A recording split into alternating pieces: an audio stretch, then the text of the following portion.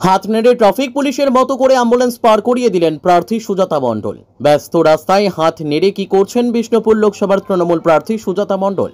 ঠিক এমন একটি ছবি ধরা পড়ল গোলসির কিছুটা আগে। হাত নেড়ে ট্রাফিক পুলিশের মতো করে অ্যাম্বুলেন্স পার করিয়ে দিলেন তৃণমূল প্রার্থী সুজাতা মণ্ডল। দলীয় মিটিংয়ে বিষ্ণুপুর থেকে বর্ধমান জেলার গোলসিতে আসছিলেন বিষ্ণুপুর লোকসভা কেন্দ্রের তৃণমূল কংগ্রেসের প্রার্থী সুজাতা মণ্ডল।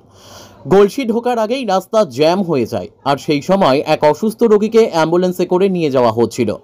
জ্যাম থাকার কারণে অ্যাম্বুলেন্স আটকে যায়, সেই কারণে হঠাৎ সুজাতা মণ্ডল এবং তার সিকিউরিটি গাড়ি থেকে নেমে পার করে দেয় অ্যাম্বুলেন্সটিকে। বারে বারে নিজের প্রচারের কারণে চর্চার কেন্দ্রে থাকছেন তৃণমূল প্রার্থী সুজাতা মণ্ডল। মৌলিক প্রচারের ভাণ্ডার দেখা দিয়েছে তৃণমূল প্রার্থীর কাছে। কখনো চুল কেটে, আবার কখনো রাধা সেজে। কিন্তু এবার যেটা ঘটল, সেটা নজর কেড়েছে বহু মানুষের। ব্যস্ত রাস্তায় দাঁড়িয়ে হাত নেড়ে ট্রাফিক পুলিশের কাজ করছেন তৃণমূল প্রার্থী। সামাল দিতে সময় লেগেছে বেশ কিছুক্ষণ। ব্যস্ত রাস্তায় যানজট ছিল ভালোই, তবে অবশেষে অ্যাম্বুলেন্স পেরিয়ে যাওয়ার মতো রাস্তা ফাঁকা করা সম্ভব হয়েছে। বাঁকুড়া থেকে আব্দুল হাইয়ের রিপোর্ট আমাদের টিভি।